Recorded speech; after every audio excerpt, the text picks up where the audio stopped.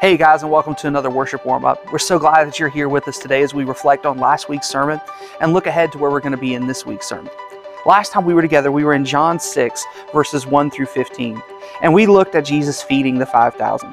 Specifically, we looked at the masses. We saw that there was a massive amount of people, a crowd of about 15,000 people uh, who were there uh, we saw the mess. The, these people are there, and it would seem that they're hangry and that there's problems happening as far as uh, logistics on how they're going to be able to feed them. And all they have, again, are just a, a few crackers and a few fish. And so we see that through that, though, we, we find that Jesus performed a miracle. And that miracle was a miracle of multiplication. Through that, we saw that, again, Jesus is also the Messiah.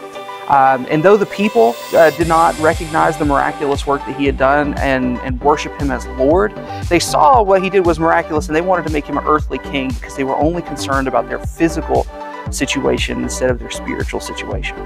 Instead, we should worship him as Lord, recognizing that all of his miracles, as we saw a few weeks ago, point to the fact that he is the Son of God and the Messiah.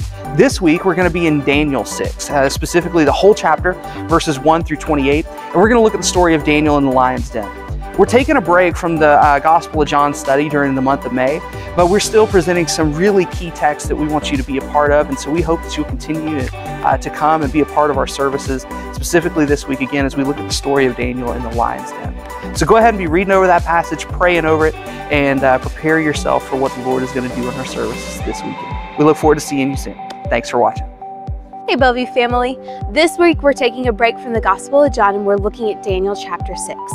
Our songs this week are Great Things, Battle Belongs, He Will Hold Me Fast, and Rock of Ages. This week we're going to be challenged with the life of Daniel. Daniel faced a lot of opposition in his culture, just like we do in ours. We can't wait to see you Sunday as we come together, are encouraged and challenged by the Word of God to live a life like Daniel. We'll see you then.